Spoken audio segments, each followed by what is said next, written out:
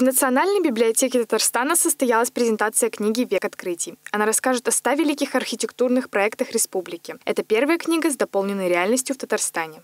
Это инновационное явление, на самом деле. Таких книг еще у нас в библиотеке не было. Я надеюсь, что многие те, кто занимается книгоизданием, а, обязательно будут применять вот эту технологию.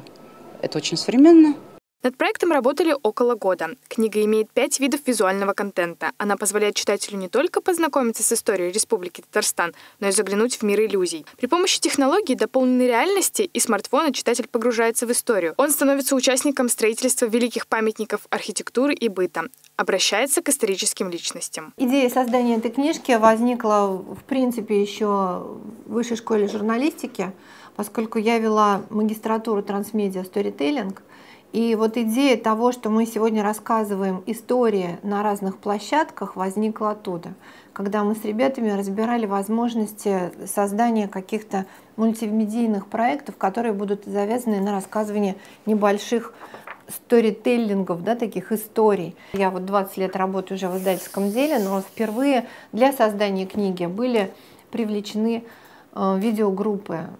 Это были съемки, монтаж, это были аэросъемки на квадрокоптере. Мы сделали 35 только коротких видеопролеток. IT-технологии позволили создателям показать эволюцию татарского наследия. Специалисты берут за основу исторические памятники и проводят параллель с настоящим временем. Два зодчих, русский и татарский, они красной нитью идут через всю книгу. Они показывают нам, как на обложке строился сначала деревянный Кремль, затем белокаменный. Мы за референс этих героев взяли действующий настоящий памятник, который стоит в Кремле, а, приходили туда, рисовали с него и затем в программах это все моделировали. О дальнейшей судьбе проекта говорить пока рано. Однако создатели и гости, приглашенные на презентацию книги, отметили ее потенциал. Возможно, эта книга будет еще растиражирована дополнительным тиражом и сделают такой более простой вариант какой-то, но доступный для туристов, для наших, ну, для жителей Татарстана.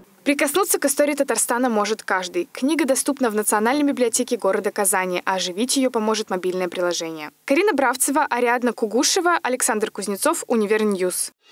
Thank